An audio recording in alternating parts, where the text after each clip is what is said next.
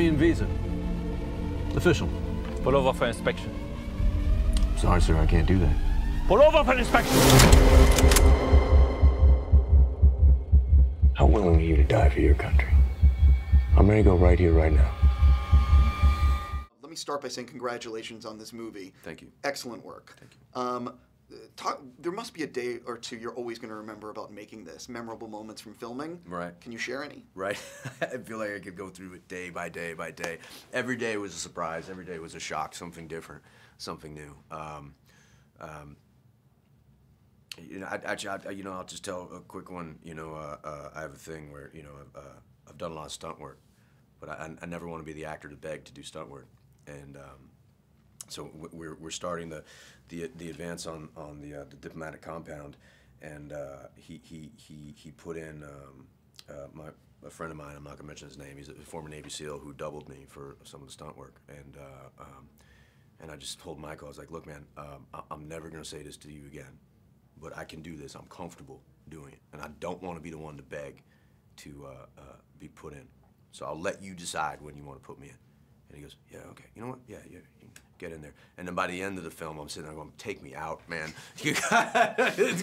Are you sure? Are you sure this is safe, man? And, and this is the amazing thing about this this film, is that Michael went back to old school filmmaking to this movie. It had to be real. It had to be dirty. It had to be gritty. What you see, we we did. We did it. It's not it's not CGI'd. All the action sequences, the the the armor, the fire, the uh, explosions, that's real, man. And Michael is very concerned of making sure that everyone's safe, the cast and the crew. Um, and so we, we did. We worked fast, but we worked safe. And um, um, I'm, like that, man. I'm proud of that. I'm, I'm, I like the fact that uh, what you see is what you get in this movie. Well, it does feel that way when you're Yeah. when you're watching it. Um, you've sort of shared a little bit about. Uh, I'm a big fan of Michael Bay, and I think when he is given material like this, he really shines as a filmmaker. Yes. Um, Talk a little bit about getting to work with him, and maybe what surprised you about collaborating with him, besides uh, the stunt work. Right. I, um, um, you, you know, this this movie. You talk about when he gets a piece of material, you know, and and here's this circumstance. We have a story that's not being told. You uh, you you have a director who is a uh, you know he's a top five action director. I mean, over the last 25 years, he's made some iconic action films. He's he's he's got a beautiful visual style. He is uh, uh, uh, uh, not. I don't think there's anybody like him and then you give him a story that he's passionate about. He has a close relationship to the SEAL teams. He's, he's, he, he wants to tell a story like this, but also he wants to change things up. He's been doing a certain type of work for the last few years, and he, he as an artist, is looking for a shift, something else to, to be excited about, to be passionate about. And so here is it's, this, it's, it's a great opportunity for him, and, and, and it's risky. And I like risks, and he likes risks. So um, I, I like the setup of it, and and working with him, what you find out is that he works fast, man. He works really fast, and he works loud, and it is intense. But what you also learn is that he's actually a, a pretty quiet guy on his own. Uh, the superhero genre is the most popular thing on the planet. Yeah. But here you are playing a real life hero.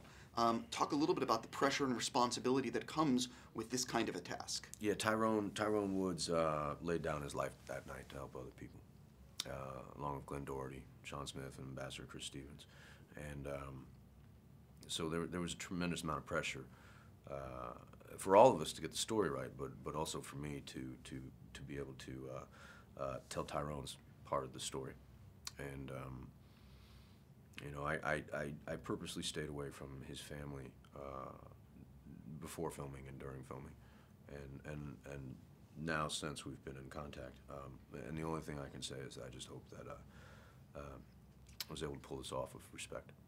Is there anything, obviously, you're researching the story based on uh, real life events. Was there anything that really surprised you to learn as you were researching and getting ready for the role? I think the surprising thing is that no one talks about this story.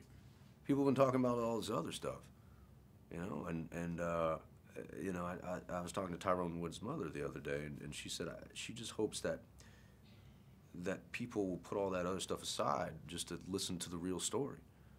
Um, you know what these guys did that night was amazing. It was selfless, and a lot of people lost their lives that night. And I think it's important to remember that that no one really won.